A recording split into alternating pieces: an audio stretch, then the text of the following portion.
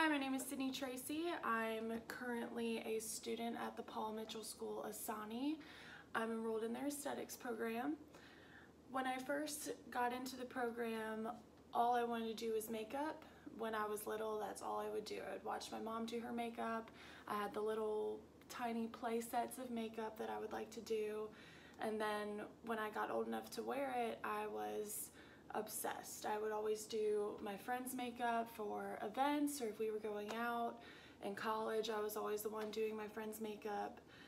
And then when we started really getting into makeup at school, the possibilities of it I've never thought about. Like with camouflage makeup, being able to help someone who maybe has scarring on their face or burns or any abnormality that they just don't like about themselves that they want to be able to learn how to cover up or make better, how to accentuate their best features and just making them feel beautiful is what is so fulfilling to me with that being in the makeup industry. So makeup was definitely the reason why I chose aesthetics, but lately that has seemed to change because once we started really getting into the different skin types, the different ingredients that can be put in products to help your skin, um, all the machine facials from microdermabrasion, uh, microcurrent, high frequency, I have become obsessed with the more medical side of aesthetics now and yes i'm still i still love makeup but i think now that since i've been in the program like my mind has been open to all the different areas that you can go in aesthetics. And lately with looking at the medical side and all the machines and what you can do i think i want to pursue more of that in medical aesthetics I have also been researching and I would love to be able to do the fillers, the injectables, the laser treatments. So I think that after I get my aesthetics license, which I'm so excited for to get in July, that I want to be able to be an RN so that I can even take my career further in this industry.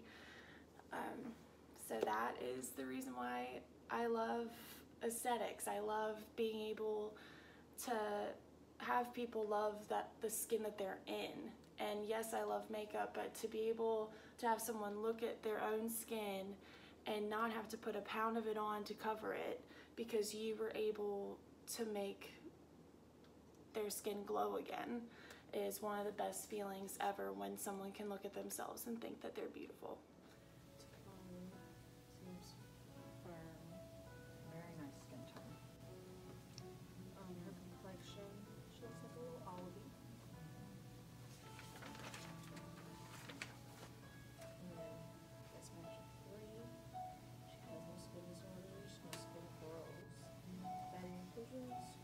Thank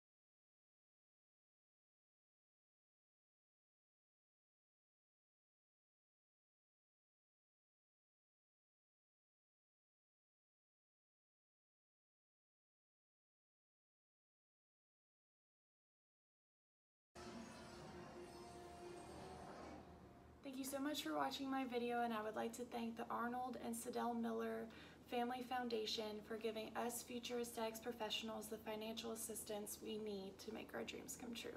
Thank you.